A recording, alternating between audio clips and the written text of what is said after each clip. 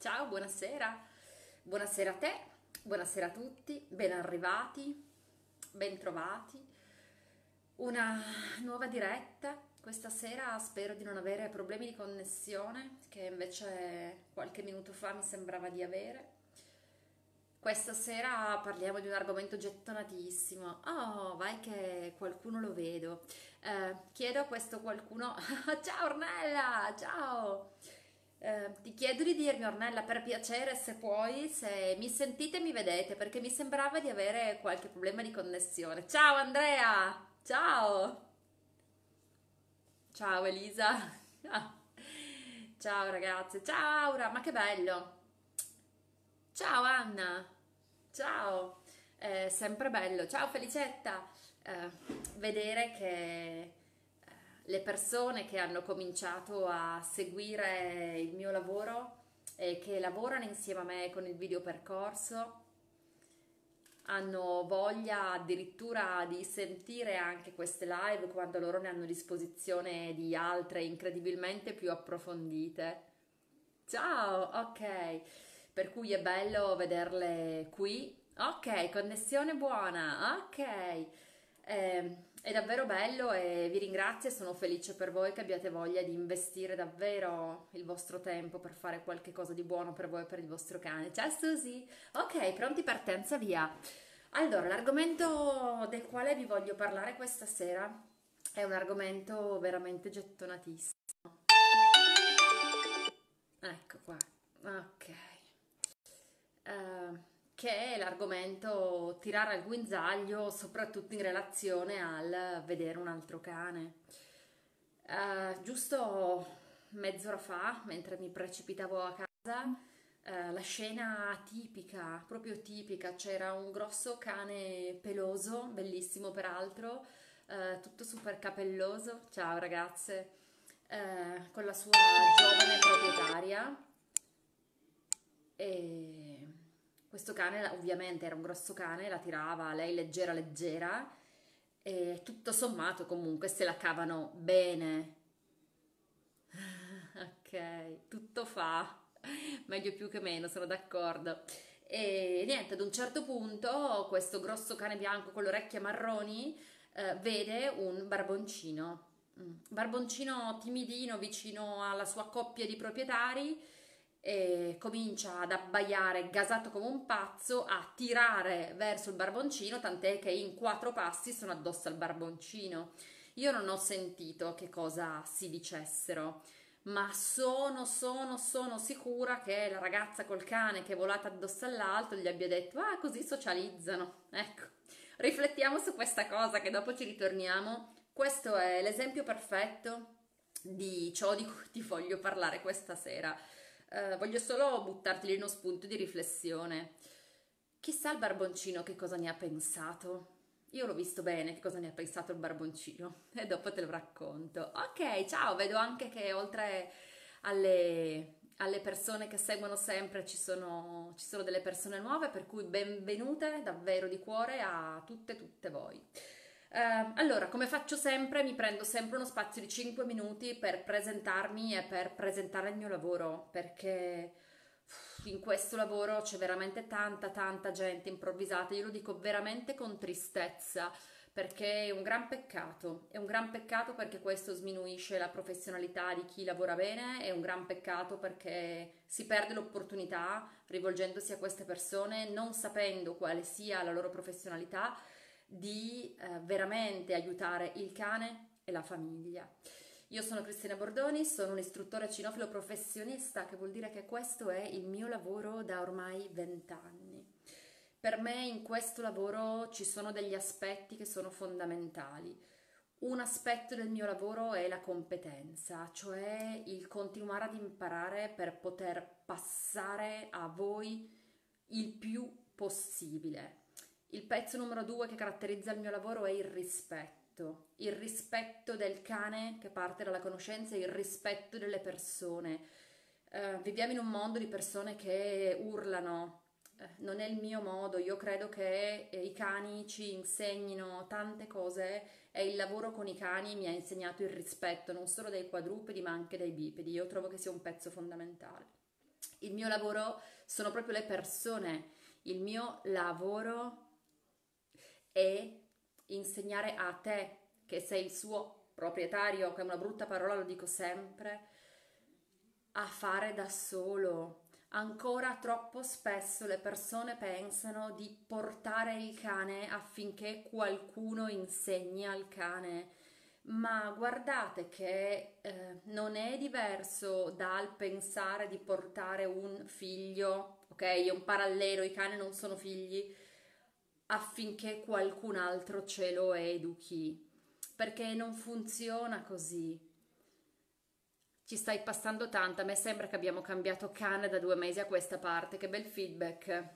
Grazie Elsa, veramente un... Grazie Elisa, veramente un bel feedback, grazie, grazie professionista, credo che questa sia una parola fondamentale. Torno al discorso. Eh, dicevo, come pensare di delegare il crescere un figlio a qualcun altro.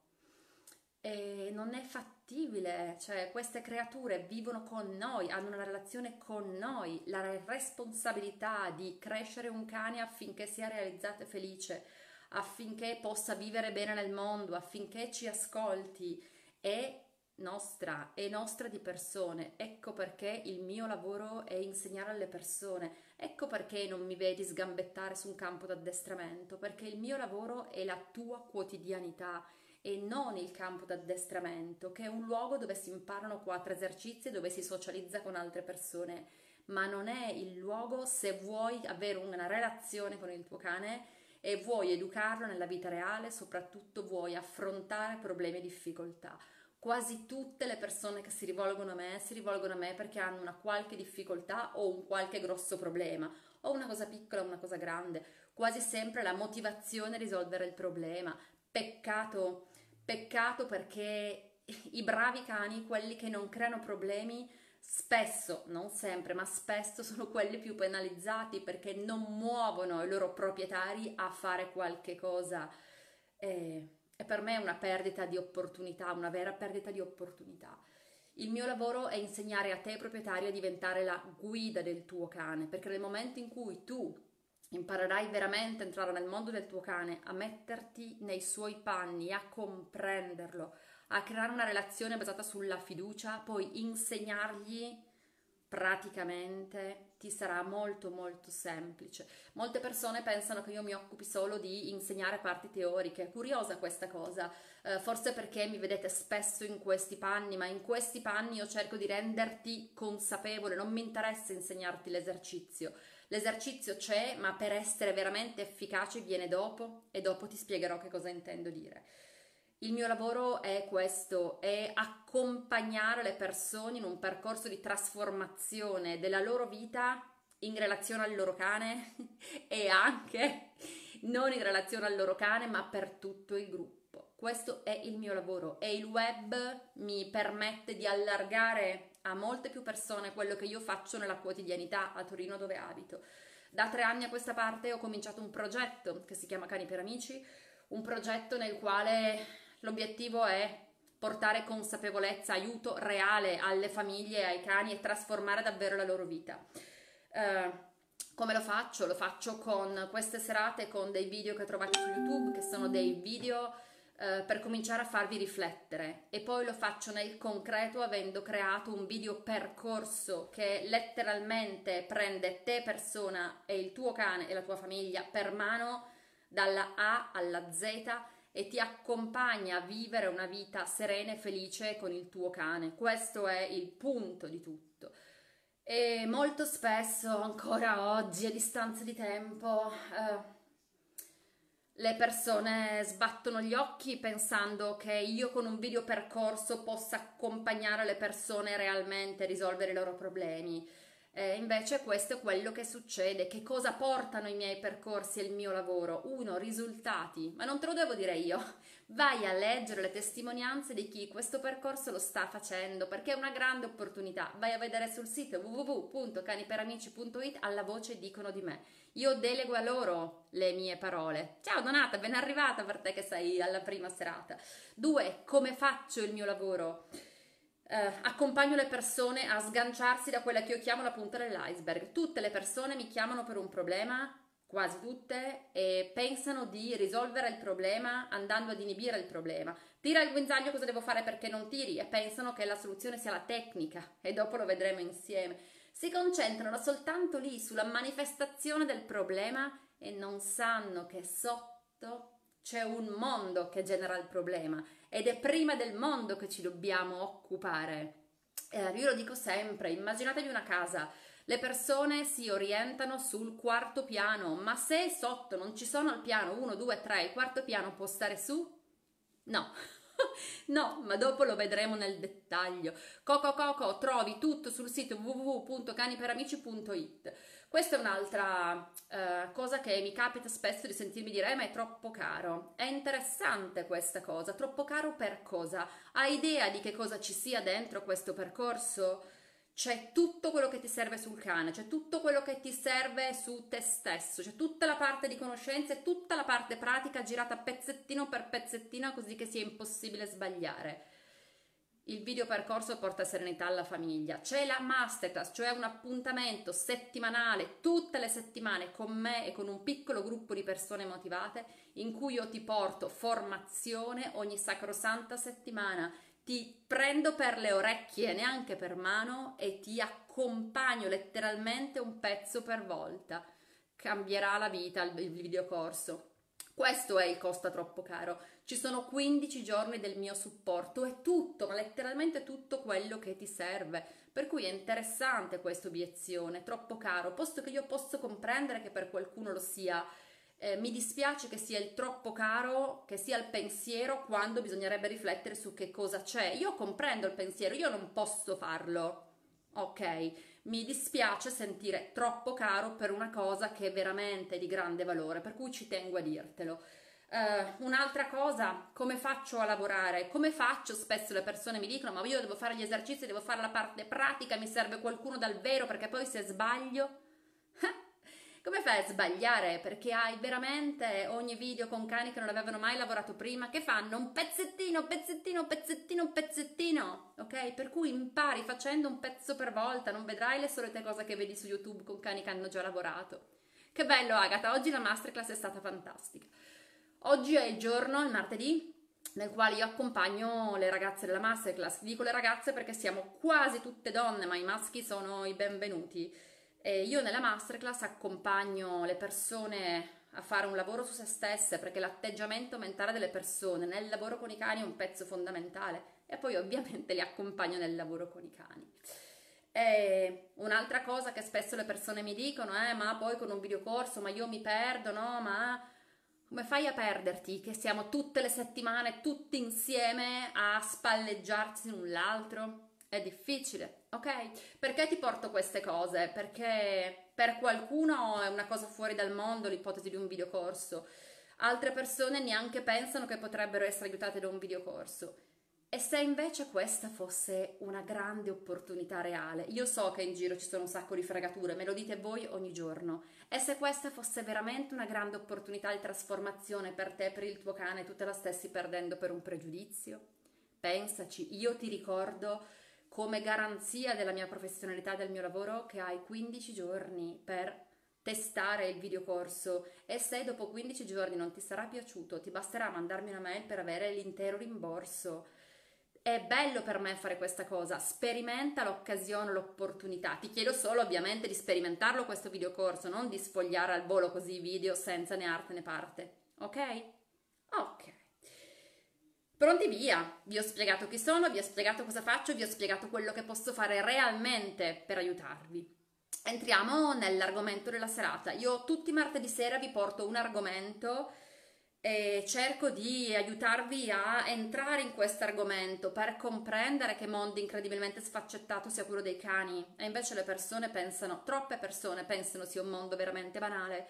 Eh, qualche giorno fa per radio ho sentito uno speaker che diceva delle cose veramente ma banali, ma banali che mi sono detta, caspita, siamo veramente tanto tanto indietro, quindi io cerco di portarti più consapevolezza possibile, così che poi tu possa decidere come muoverti.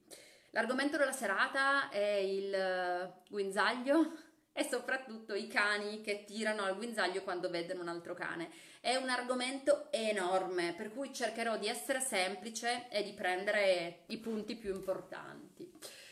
Uh, che cosa accade? Beh, che i cani tirano al guinzaglio, vi basta girarvi intorno, guardarvi intorno e vedere. Mm, ce ne sono veramente tanti di cani che tirano al guinzaglio. Eh, mi hanno fregato sul campo d'addestramento, questa è tutt'altra storia. Grazie Paola e ovviamente non è, cioè la mia non vuole essere una generalizzazione, io vi dico solo dipende da qual è il vostro obiettivo, mi raccomando. Allora, sul fatto che i cani, tanti cani tirano al guinzaglio, non credo di dover spendere parole perché è una scena che vedete, vedete veramente con grande facilità. Eh, io spesso sento le persone urlare, ma veramente urlare, no, basta, vicino, ma veramente spesso mi capita questa roba. Eh, vi devo dire che non è efficace, non avete bisogno che ve lo dica io perché ve ne accorgete guardandovi intorno, magari l'avete sperimentato non sapendo cosa fare. Pezzo numero due, invece voglio fermarmi un attimo di più su che cosa accade. Quante volte vi capita di vedere uh, un cane che abbaia all'altro cane e che trascina il proprietario sull'altro cane?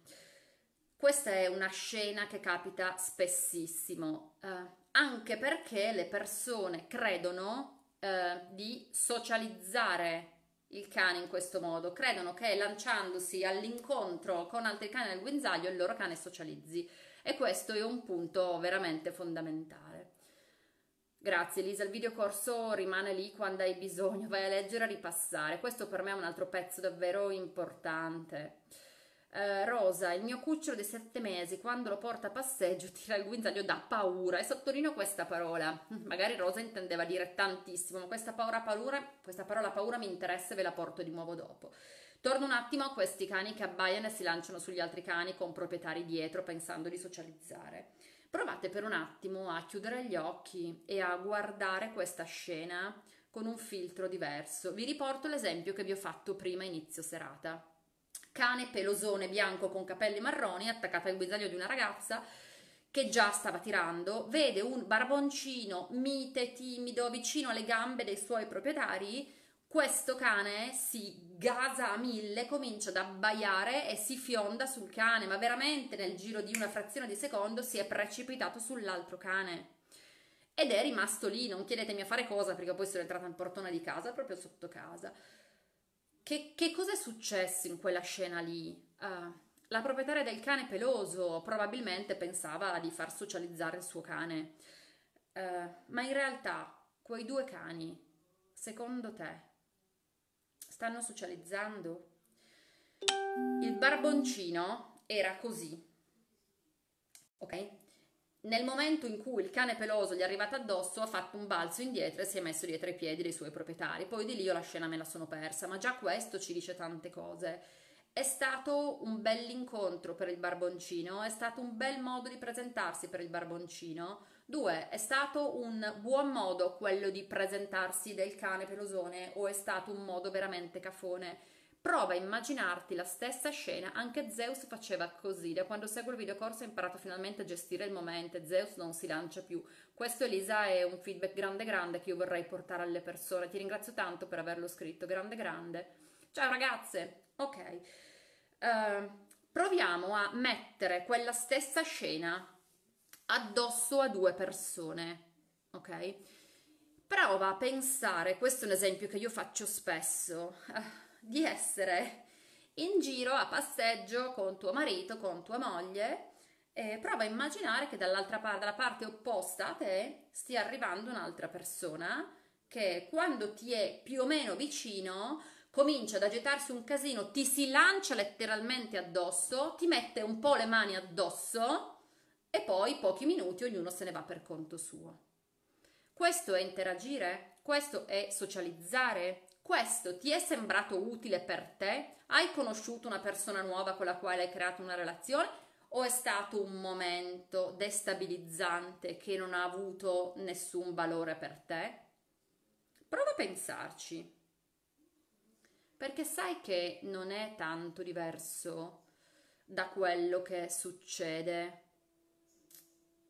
uh, in strada per la maggior parte dei cani Due cuccioli di sette mesi di Golden tirano. Adesso cerchiamo di andare avanti su questa cosa del guinzaglio. Uh, la stragrande maggior parte delle persone pensa che sia bello uh, far incontrare i cani in questo modo. Poi adesso ti ho parlato nel caso specifico di un cane che abbaiava stragasato, ma anche chi non abbaia, ma si lancia sull'altro cane, si tira dietro il proprietario, ma secondo te è un modo gentile? È come se io mi presentassi alle persone buttandomi loro addosso e toccandole, o come se lo facessi tu. Non è una bella cosa. Sai che la maggior parte degli incontri tra cani al guinzaglio non ha nessun motivo di esistere, nessuno perché non c'è niente di utile in quella situazione e ti dico per la maggior parte perché ci sono dei cani che invece anche al guinzaglio si presentano bene, si prendono il tempo, rallentano, valutano. Io invece ti ho parlato della classica situazione nella quale un cane, che è solitamente un cane di città che ha poche competenze, nel momento in cui vede un altro cane, si gasa talmente tanto che gli parte una bolla, una botta di adrenalina o in altre situazioni una bolla d'ansia perché non sa che cosa fare e comincia ad agire in modo automatico, cioè fa l'unica cosa che riesce a fare, gasarsi, abbaiare e tirare, ma non sta pensando a che cosa fare perché c'è una emozione così grande che lo spara fuori che non riesce a ragionare non riesce a guardare quello che gli sta dicendo l'altro. Se il cane di questa sera, il pelone con i capelli, con le orecchie marroni, fosse stato un cane competente, si sarebbe fermato un attimo, avrebbe guardato il barboncino e si sarebbe chiesto: Ma allora, cioè, va, gli va bene che mi avvicini? Perché il barboncino che stava così era ovvio che gli stesse dicendo: Senti, bello, te stai al tuo posto, che io sto al mio, ci passiamo vicini senza interagire ma lui non ha né guardato né pensato perché questo picco d'adrenalina, di eccitazione, di gasamento, di emozioni varie l'hanno travolto, per cui si è lanciato. Ma guardate che questo è quello che fanno, ma io oserei dire il 90% dei cani che non hanno imparato una modalità diversa. Poi ognuno se la declina a modo suo, c'è chi si spara, c'è chi abbaia, c'è chi anche drizza il pelo perché non sa che cosa fare, insomma le modalità sono mille. Poi spesso anche quei cani che abbaiano e fanno casino, quando hanno avuto tempo e sono vicini all'altro cane, poi non è che se lo mangino, però intanto quel modo lì è un modo assolutamente inadeguato, ok? Uh, riuscite a seguirmi? Sono riuscita a spiegarvi. Uh, molto spesso le persone mi dicono: Sì, sì, il mio cane fa così, poi però gioca. Sì, è vero, dopo un po', poi magari ringhia, o dopo un po', poi magari fa questo. E io tutte le volte quando le persone mi dicono così mi domando, ma possibile che le persone non pensino che quella roba lì non ha senso? È un peccato per noi, fortunatamente non è sempre un dispiacere. Fulvia, scusami, mi sono perso un pezzo prima. E no, le persone non ci pensano perché pensano davvero di socializzare. Ecco, io questa sera vorrei che ti fermassi a prima guardare a te stessa il tuo cane e come si comporta e come ti comporti tu e anche a guardarti intorno e a guardare che cosa succede agli altri cani. Ok? Il mio vede il guinzaglio come una punizione, viviamo in campagna ha molto spazio per stare libero e quindi non è abituato al guinzaglio, più che come una punizione Raffaele, io immagino che proprio non sia abituato. Ok, vai che siamo riusciti ad essere chiari, fatemi solo bere un secondo.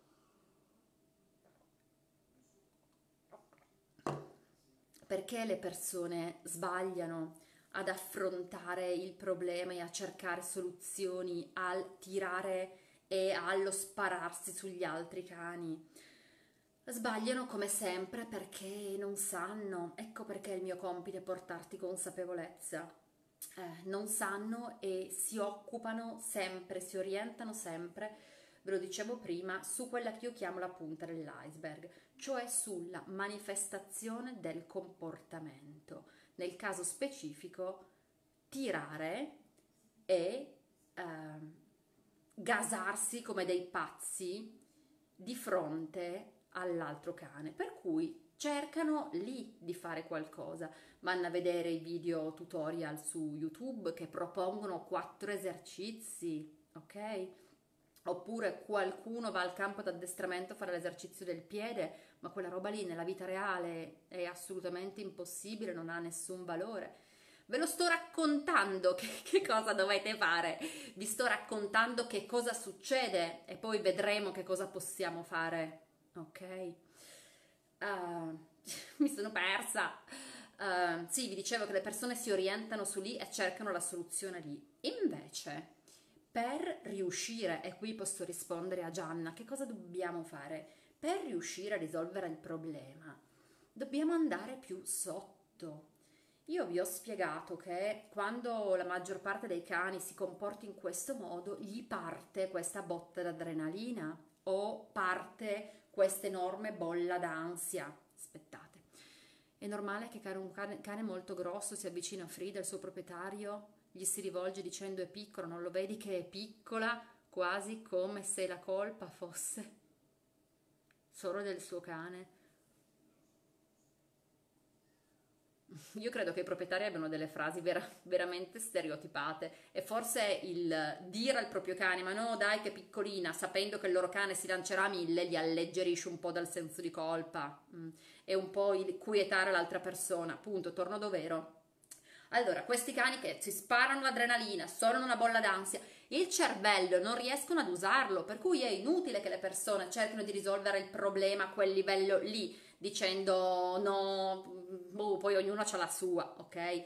Idem sul guinzaglio e andare sotto. Allora, le persone si concentrano sul problema, quindi sul problema cercano la tecnica, la tecnica è, le trovate mille su YouTube, mi fermo, la tecnica è tieni un pezzo di cibo in mano, la tecnica per qualcun altro dai uno strattone, ma se un cane tira il guinzaglio, un motivo c'è. Ti faccio degli esempi banali. Se un cane tira il guinzaglio perché è pauroso, la paura lo paralizza, per cui c'è un'emozione enorme sotto quella punta dell'iceberg. Possiamo lavorare sul guinzaglio senza esserci occupati di tutto quello che c'è sotto? No, perché non otterremo nessun risultato. Se un cane tira perché è stragasato, questo succede spessissimo, ok? Uno di quei cani con un sacco di energie, un sacco di bisogno di fare un sacco di attività psicofisica, sei in questa situazione qui, ma noi possiamo usare la tecnica che ogni cinque passi ci fermiamo per insegnare a non tirare al guinzaglio? No, perché diventerai scemo, ok? Passami il termine, perché quel cane è talmente gasato che non riuscirà mai a lavorare con te sulla tecnica perché in quello spazio lì è travolto dalle emozioni tanto quanto gli altri oppure quei cani che mettono il naso per terra e non lo tirano più su per nessun motivo, che non si filano il loro proprietario per nessun motivo. Ma possiamo lì lavorare sulla tecnica? No, perché non c'è lo spazio per lavorare lì. Questa è la punta dell'iceberg. Prima qualcuno mi chiedeva cosa devo fare? Ti devi occupare di quello che c'è sotto, perché questi problemi si affrontano, a volte si risolvono, altre volte si gestiscono, ma possiamo cambiare la vita da così a così a queste persone, a questi cani però non stando lì, ma andando qui sotto ta ta ta per poi arrivare qui alla punta dell'iceberg, ma partiamo dalla base di questo iceberg e poi ci mettiamo un pezzo, un pezzo, un pezzo e un pezzo. Quindi, che cosa fare? Consiglio, mi piacerebbe poterti dare il consiglio magico. Il consiglio è serve un cammino, un percorso, chiamiamolo come vogliamo, un percorso che ha delle tappe punto di partenza, ok, il punto di arrivo è riuscire a passeggiare insieme e a non fare casino, a non spararci sugli altri cani. Ecco, direi che questo è l'obiettivo. Che cosa ci serve realmente per arrivare a questo obiettivo? Ci servono diverse cose. La prima cosa che ci serve è comprendere profondamente il nostro cane, qual è la sua genetica, quali sono le sue vocazioni di razza, perché si ha delle vocazioni molto importanti sulle vocazioni abbiamo fatto una live un po' di tempo fa. Eh, come la vocazione esplorativa, cani che sono portati a mettere giusto naso ed esplorare tutto. Se non andiamo a lavorare un po' su quella motivazione lì, poi ci sarà difficile il resto.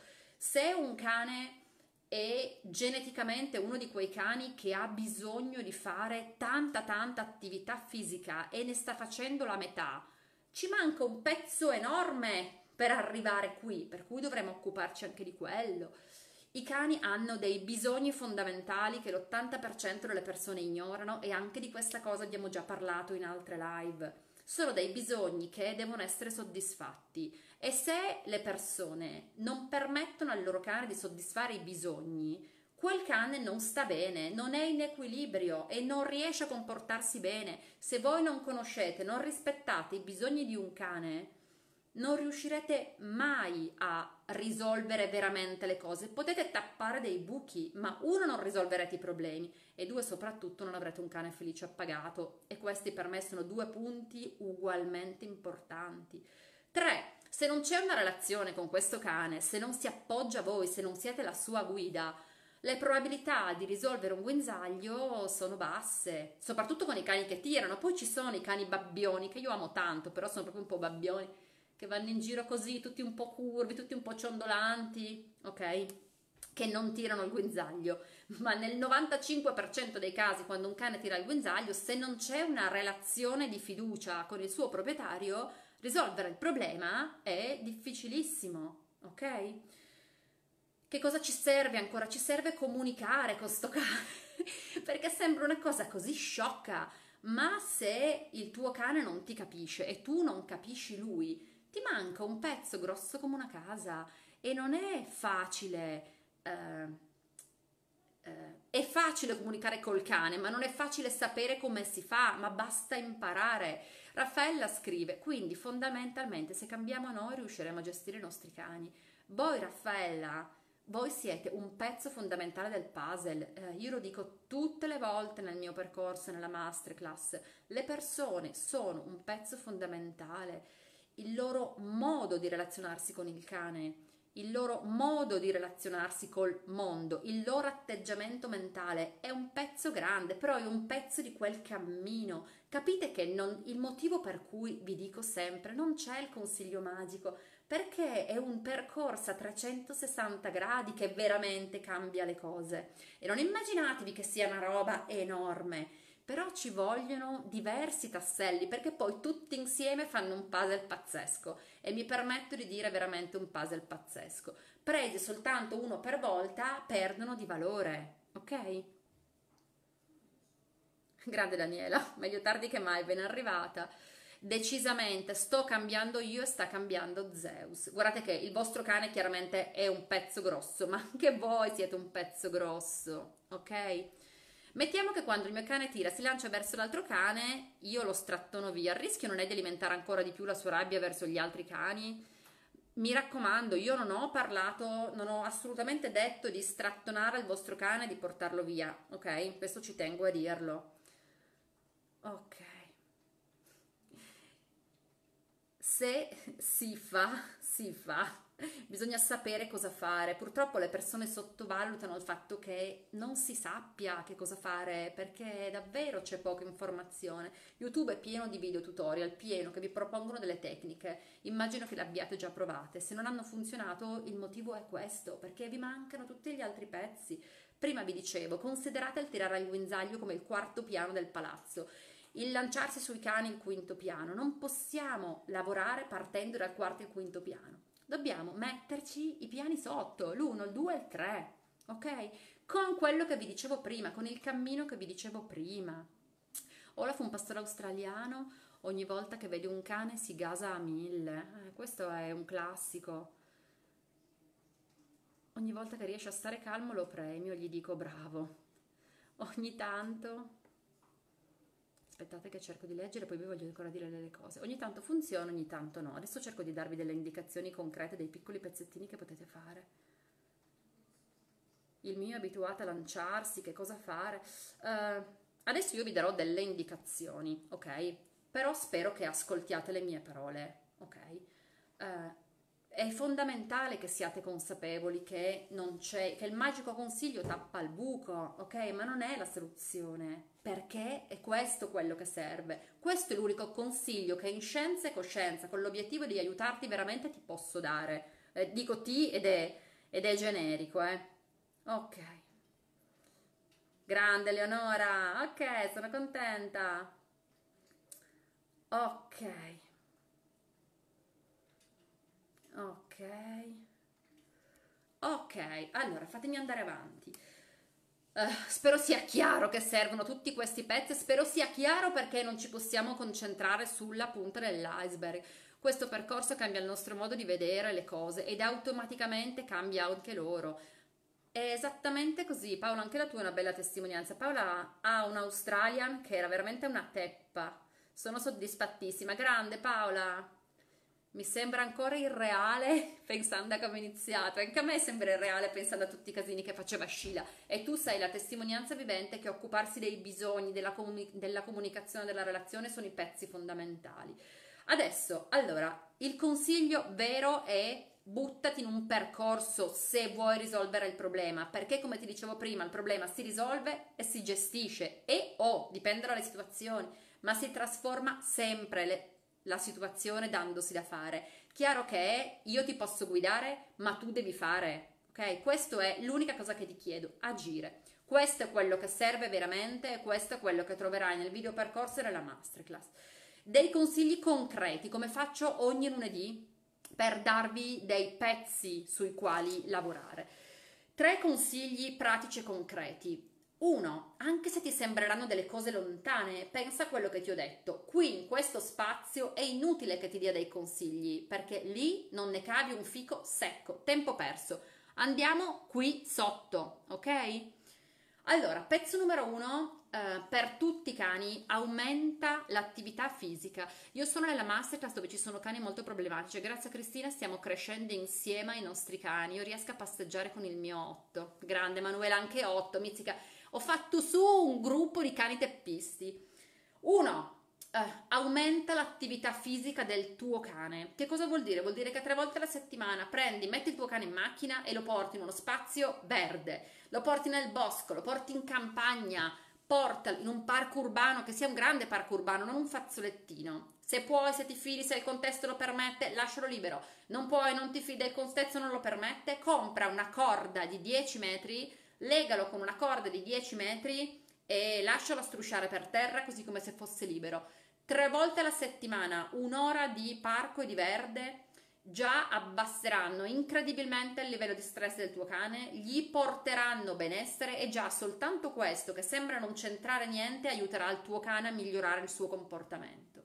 2. Ogni giorno che Dio manda in terra, lavora 20 minuti sulla ricerca olfattiva, sull'esercizio di cerca. Se non sai che cos'è, vai sul sito www.caniperamici.it a scaricare i tre video gratuiti. In uno di questi video gratuiti trovi eh, l'esercizio, perché questo è un esercizio del cercare. Insegna al tuo cane, fallo tutti i giorni 20 minuti. Cosa c'entra questo con il tirare il guinzaglio? C'entra perché è un tassello del nostro puzzle, è un tassello che permette di lavorare con il tuo cane, di creare relazione con il tuo cane, di lavorare sulla collaborazione, di cominciare a creare una relazione di fiducia. Chiaro che è cominciare, però è un inizio. Pezzo numero 3. Eh, per i cani che abbaiano agli altri cani e si gasano come dei pazzi, sappi che ogni volta che lo fanno imparano a farlo di più e meglio è letteralmente un allenamento, ok? Eh, te lo metto tra virgolette, un po' come una droga, ok? Che più ne, più ne prendi più ne vuoi. Allora, il primo gradino è cercare di cani matti e proprietari è peggio. e poi col percorso ancora peggio. ecco, fantastico. Grande Lisa, sono d'accordo. Aspettate solo un attimo. Allora, L'unico consiglio, consiglio che ti posso dare al volo è cerca di eh, mettere il tuo cane il meno possibile in queste situazioni in cui si agita come un pazzo all'incontro con gli altri cani. Per cui scegli contesti che siano più semplici e lavora sulla distanza. Ogni cane ha una distanza alla quale distanza dall'altro cane, alla quale riesce a non farsi partire la botta d'adrenalina, adrenalina, ansia, eccitazione, eccetera. Ok? Questa è l'unica cosa sensata che puoi fare, lavorare sulla distanza affinché il tuo cane non vada in palla. Se è già andato in palla, le orecchie tappate, tutto tappato, non puoi fare più niente in questo momento, ok? Eh, ma è difficile, ma io ho la macchina non ce l'ho, non posso portarla al parco, eh, ma eh, come faccio?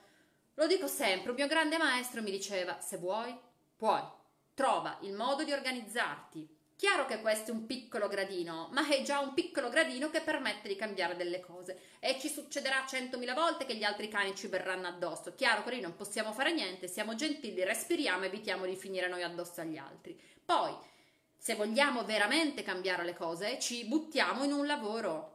Otto settimane di video percorso e masterclass non mi sono mai sentita sola o incapace. Questo Tiziana, guarda, un altro grande, grande feedback. Io credo che molte persone abbiano paura di non riuscire. Sempre presente, precisa e pulita nel parlare. Grazie mille. Meno male che abiti in campagna, qui nessuno mi vede e mi sente. Grandissima. Quindi, hai tre consigli strategici da mettere in atto subito hai l'opportunità di fare veramente qualcosa. Io ci sono, il video percorso c'è, se sei su Torino ci sono. È un'opportunità reale di fare qualche cosa. Vai a vedere se non sai di cosa stia parlando sul sito www.caniperamici.it.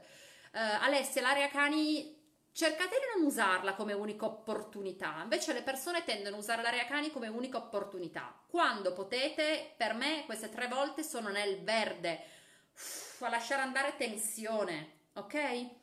Se avete domande sul video percorso, siete perplessi su qualcosa, mandatemi una mail all'indirizzo www.caniperamici.it che è la mail alla quale rispondo io.